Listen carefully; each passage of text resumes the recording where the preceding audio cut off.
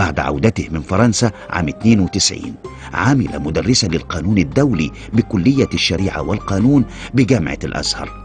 كما أنه يدرس بقسم الدراسات الإسلامية باللغة الفرنسية بكلية اللغات والترجمة بجامعة الأزهر.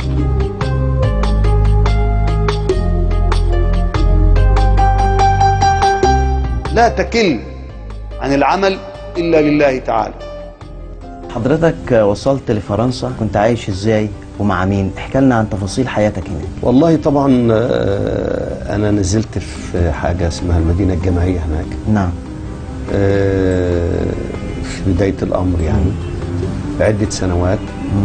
وبعد كده انتقلت إلى سكن خاص. الواحد بقى حس إنه كبر شوية على المدينة الجامعية. نعم. ويعني الطلبة الصغيرين والشباب بقى الواحد حس إن كده نعم.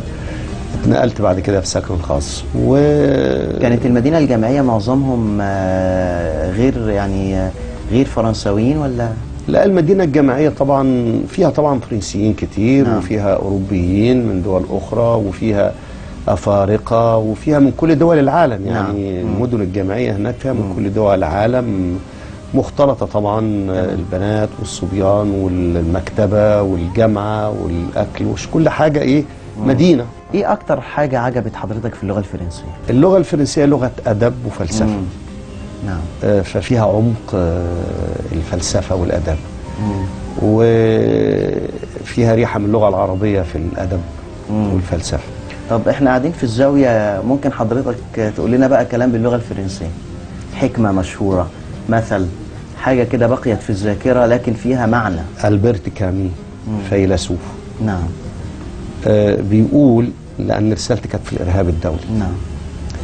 آه، الترجمة العرب بيقول يعني أن الإرهاب بدأ من اليوم الذي قرر فيه الإنسان أن يتولى إدارة الحياة بمعزل عن الإله. بالفرنساوي est commencé où؟ L'homme a pris à sa responsabilité la charge de diriger la vie loin de Dieu. الإرهاب بدأ من اليوم الذي قرر فيه الإنسان أن يتولى إدارة الكون بمعزل عن الإله وفي سياسة توازن الرعب النووي لأن هذه الفلسفة هي في الحقيقة على المستوى السياسي هي اللي بتحكم سياسات العالم اللي هي سياسة التوا... توازن الرعب النووي. نعم. فسألوا فقالوا دامو داموكليس دي أسطورة عندهم لم يركز جيدا إلا تحت وطأة السيف. نعم. ده تبريرا لسياسة توازن الرعب النووي.